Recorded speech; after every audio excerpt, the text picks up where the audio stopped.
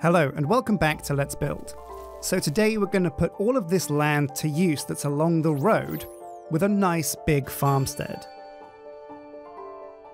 Before we get there though, we need to do a bit of landscaping and get the area ready for some buildings. And while we're doing that, we've also got a small road that branches off to the right and goes behind Dragon Skull Mountain. But that's something for later.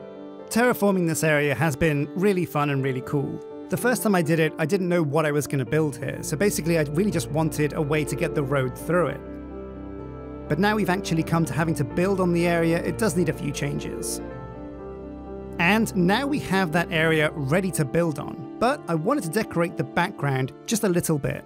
The mountains that ring the entirety of our kingdom are a great placeholder, they look pretty good in the distance. But as we build near them, I want more and more to landscape them into a nicer looking area.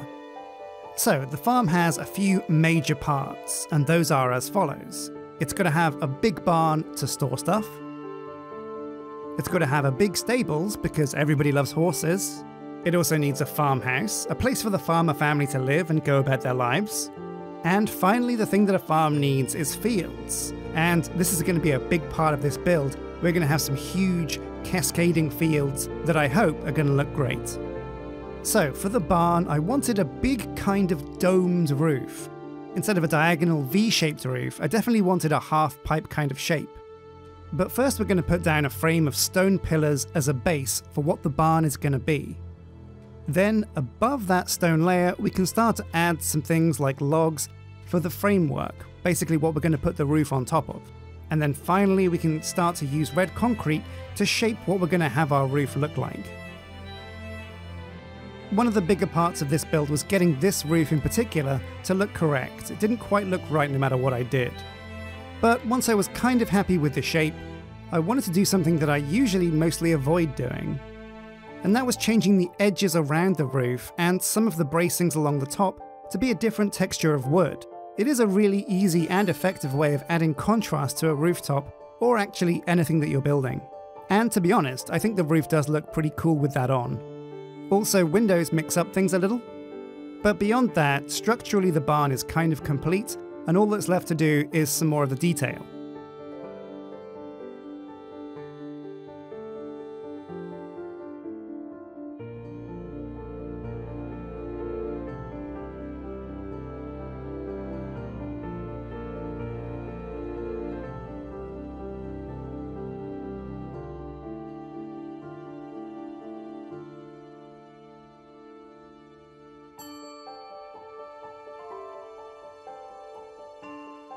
I wasn't quite happy with the curve of the roof. It was a tiny bit flat and it made the building look too short, too squatted.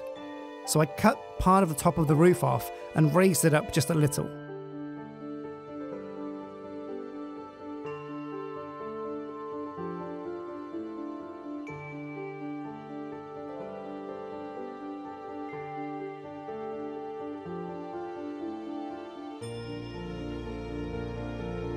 And then did one more pass on the detail around the edge of the barn. And one of the cool things that I'm doing here is using trapdoors on the blocks where the logs change direction. It can look a bit off, but using trapdoors to cover those up makes the build look a lot neater. And now we're going to do something super super cheeky. There's a farmhouse that I built a while ago over near to the kingdom. And it was a build that I was so happy with that I figured, you know what, why can't I just copy that and then paste it over here?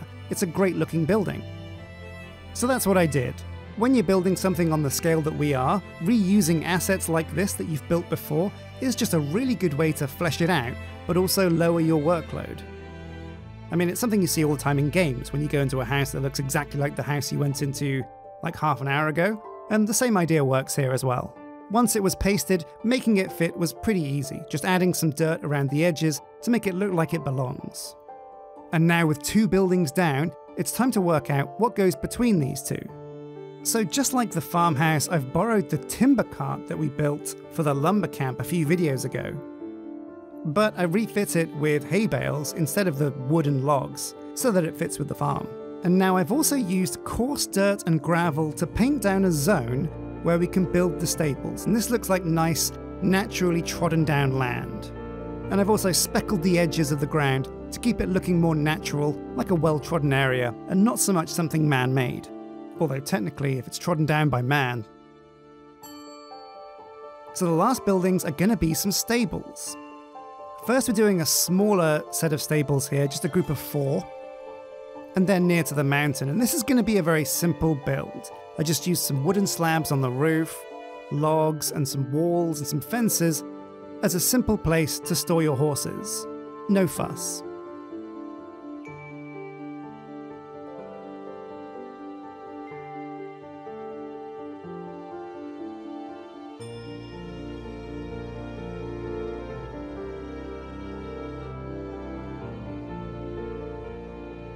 But then that left a large space in between these little stables and the barn, and I wanted to fill that empty space with a well.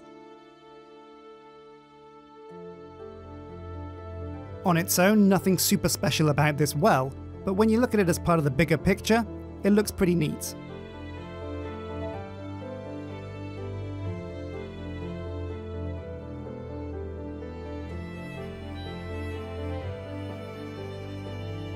Now we still have a huge amount of space to fill, so we're going to fill it with another much bigger stables. We've already got like a few small pens, but I want a much bigger building dedicated to where we can put the horses.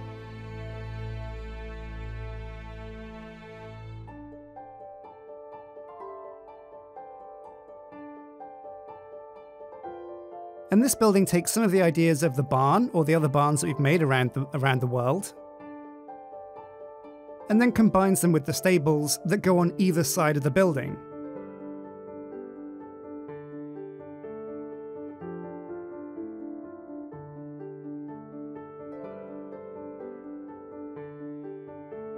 It's a relatively simple build, but it really does help bring the farm to life.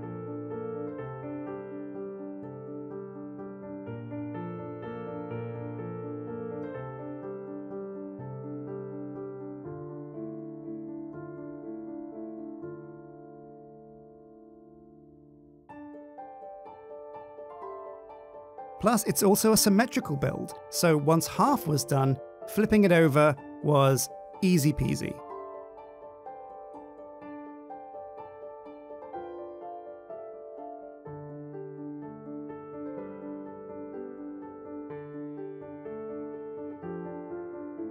And so that means half of the farm is done. There's a little decoration here and there. We've also added little sections of wall to the path and these things help with the overall feel.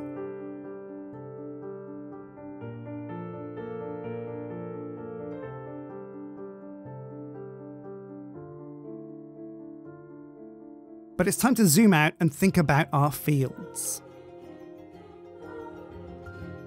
Now, with the fields, I wanted to go big, and the contours of the land didn't quite leave enough space for the fields I want, so it is back to terraforming and landscaping to give ourselves more room to work with.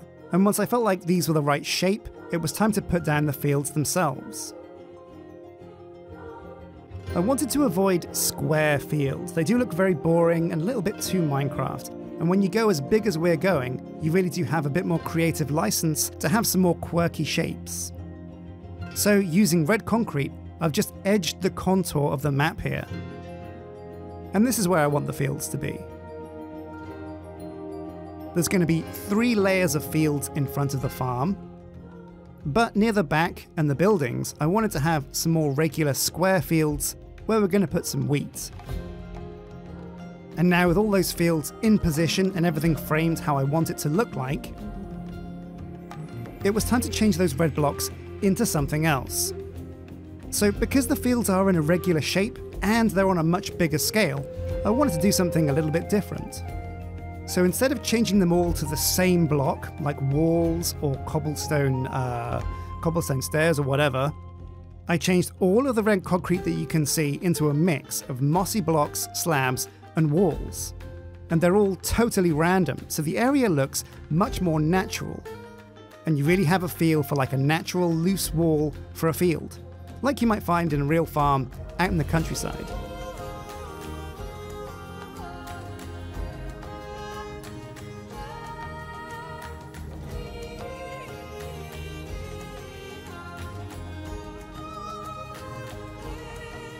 And it's something that I'm really happy with. The look, it, it's just amazing. Also, from a distance, it looks great, but up close it doesn't look too weird either.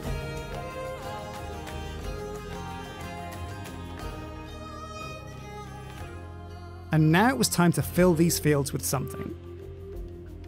Now, I'm really tired of potatoes and carrots, both in real life and in game. No, I don't think you could ever be uh, tired of potatoes. But I wanted to move away from the conventional Minecraft crops. And I figured, why not use the taller two block high flowers that Minecraft already has roses, lilacs, and peonies? So I started planting those in.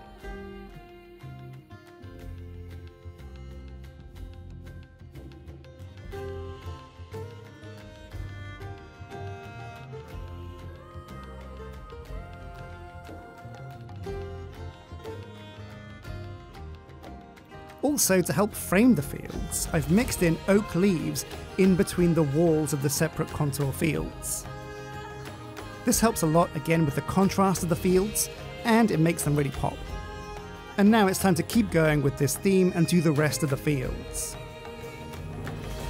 This took me a lot of time. I mean, I couldn't really think of a better way of placing down all of these flowers manually. Because they're two blocks, you can't really just copy and paste or use commands to do it. Also, with the irregular shape of the field, that made it hard too. So I kinda just had to place down every single flower by hand. But that wasn't a problem, I slapped on some music and put my face to the grindstone.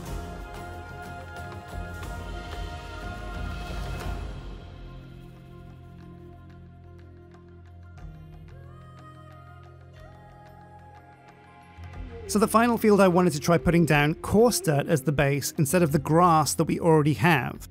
And after it was complete, I realized actually, you know what? Coarse dirt is the much better look.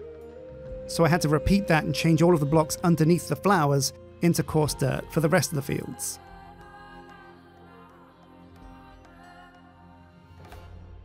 And now onto the wheat fields. There's probably a simpler way of making them, but you know what? I quite enjoyed manually using a hoe.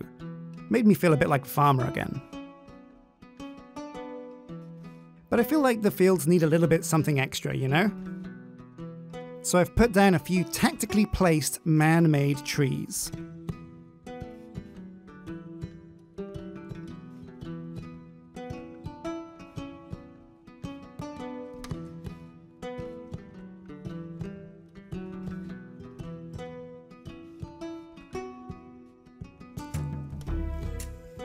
And then I've populated the wheat field with some seeds and this is just regular Minecraft wheat.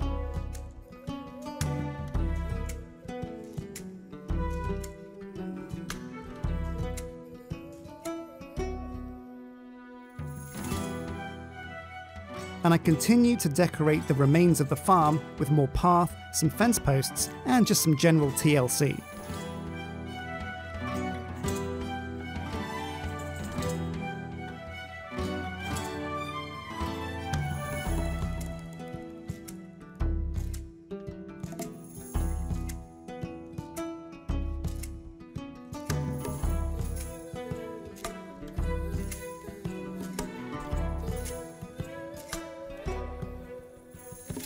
And we've done it. Boom, build complete. Dawn breaks, the sun rises, and we have a huge, cascading flower farm to greet the light of day. This build covers a lot of land, and while it's not structurally super ambitious, it's a big leap towards getting the kingdom complete. Anyway, here's a few up close and personal shots of what the farm looks like. And I'm very happy with how this build turned out.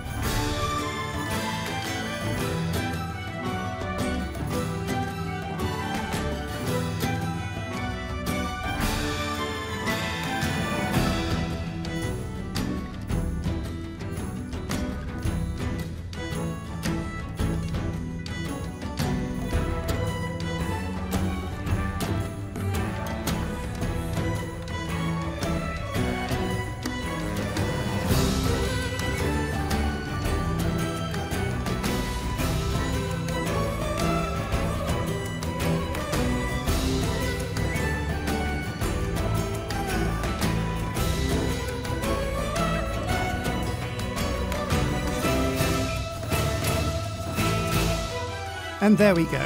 there's still a lot of this valley to build on, so next episode, I'm thinking I'm going to be building a mountain castle. Hit like if you enjoyed, subscribe for more, and until next time, take care.